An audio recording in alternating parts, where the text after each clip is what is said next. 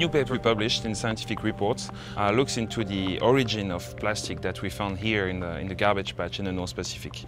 We already knew that about half of the mass of plastic in the North Pacific was uh, fishing nets, but we also look at those hard plastics. The rest is composed of hard plastic, hard fragments, and we see that most of it is actually also coming from uh, fishing activities. And so we estimate that about 80% of uh, the plastic we found here in the North Pacific is coming from fishing activity. We are currently at the Wageningen University and Research, where we are doing research on the floating plastic debris that we collected with System 1B. So what's really unique here is that we have large quantities of plastic debris from the Great Pacific Garbage Patch and it allows us to really dive deeper into questions like what do we find there in the garbage patch, how much do we find, where is it coming from, where is it going to, how long is it staying there. And in order to answer these questions we really need to have large quantities of plastic to get a really a sample that's representing what's actually out there afloat. It's like exactly the information we're looking for. Yeah and also this, and maybe we can find someone that can actually identify it. Yeah, yeah. it's interesting to see that uh, with the method the ocean cleanup is using, that it's both very small plastic items, it's, it's up to a few millimeters, and the extremely big items, like this one item that's two meters in size, and that makes it interesting that we have a bit from everything. Bigger objects that we can identify and smaller objects that, uh, well, we also weigh, etc., but obviously you can't identify them anymore. What we're actually doing is we sort every piece of litter into 120 categories and then when we have sorted all those items in those categories then we do a more deeper analysis of uh, litter items within such a category. It's like detectives, we're looking at every single item to see if we can find any clues that can help us identify where they're from, why did they end up in the sea and perhaps what could be a solution to prevent this. There are several reasons why fishing gear can be found in the ocean.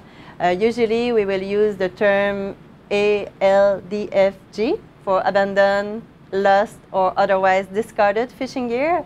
Um, the fishermen can basically abandon their gear. This can be for several reasons, uh, safety reasons, a storm, so they can no longer go back and retrieve their gear. Uh, the fishermen can lose their gear. Um, what if the GPS um, signal get lost and they cannot retrieve and go back to the geographical location where they left it. And discarded is basically, this item is no longer needed and it's been discarded into the ocean. One of the objectives of the study was also to look at what is the type of fishing industry that is basically linked to these plastic debris and uh, we actually use also a model to help us understand better where it's coming from. And based on the data, we found out that 48% of the fishing equipment that we found in the Great Pacific Garbage Patch is linked to trawling. This is different here from previous research that we've been doing because in the past we've been doing mostly characterization and quantification of uh, plastic here in the garbage patch. But here we've been really looking at trying to, to understand the origin of this plastic and, and see where, what are the sources for this plastic to, to enter the ocean, what are the reasons for this plastic to end up in the ocean. And because you know we, we're focusing on, on cleaning, cleaning the ocean here, it's important, but we don't want to do that forever, right? So we want to address the sources uh, eventually and, and make make sure that you know there's no more plastic entering the ocean. And so at the Ocean Cleanup, we've been focusing on addressing the sources in rivers by intercepting plastic in rivers. But here in the North Pacific, we find that a lot of the plastic uh, we collect is actually coming from not from land, but from fishing activities, from, from the sea directly. We often uh, look at developing economies as contributors of plastic pollution into the ocean. So for the North Pacific Ocean, there would be, you know, the Southeast Asia, Philippines, Indonesia, or Central America, South America. And surprisingly, actually, we don't find many markings that come from those countries, but instead we find markings that come from industrialized nations, big nations, um, uh, large economies. And basically, mostly four countries that was contributing into that pollution here for this hard plastic. Um, we found plastic coming from Japan, plastic coming from China, plastic coming from Korea, and plastic coming from the US.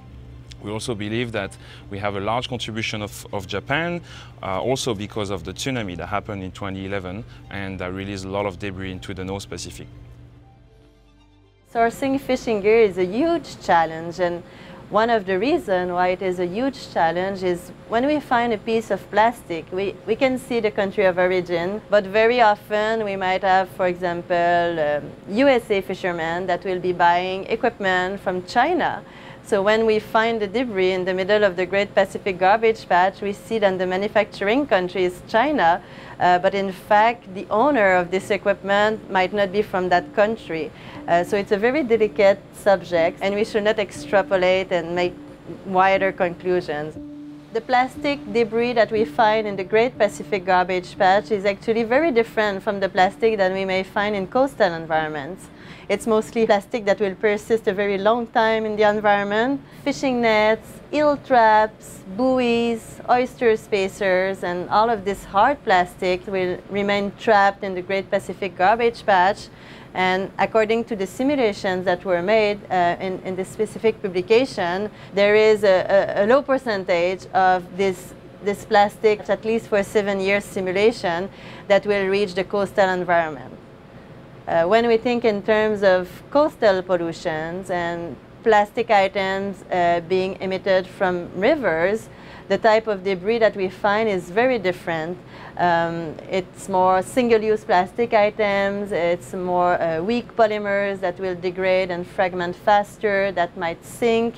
It will remain very close to the coastal environment. It, very rarely this plastic will make its way uh, all the way offshore to the Great Pacific Garbage Patch. So these are two complete different sources and uh, we should work on both of them.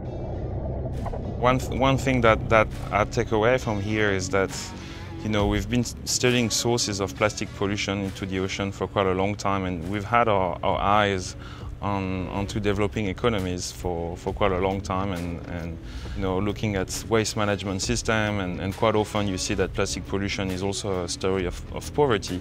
But here it's not the case. It's, you know, it's, it really is coming from rich economies and from, from industrialized uh, fishing nation and, and, and just shows that yeah, like the, the, the, fishing fishing industry has, has a really strong role to play here and, and it's very important that we address this issue here. Our main goal and objective for all of us is to basically turn off the tap and stop plastic being emitted into the ocean. And the truth is that most of the emissions coming into the ocean is still coming from the land and being emitted from the rivers worldwide. So it's still very important to intercept this debris before it goes into the ocean.